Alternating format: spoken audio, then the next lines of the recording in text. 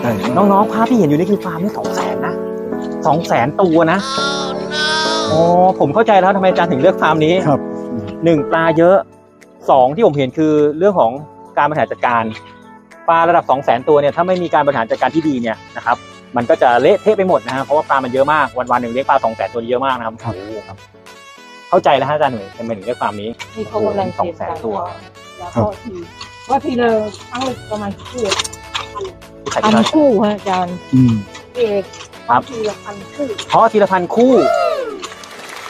โอ้โห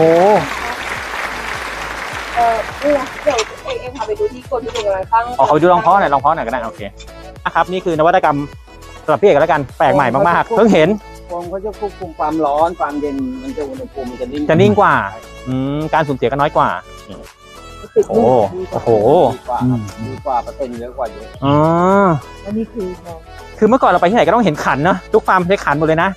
อะใครจะเปลี่ยนก็เปลี่ยนได้นะอันนี้คือไม่ต้องกลัวว่าเขาจะห่วงวิชานะนี่คือจากภูมิปัญญาชาวบ้านนะครับ แต่ประยุกต์ใช้นะฮะนี่ผมเห็นฟาร์มที่ครั้งแรกเลย งงเลยด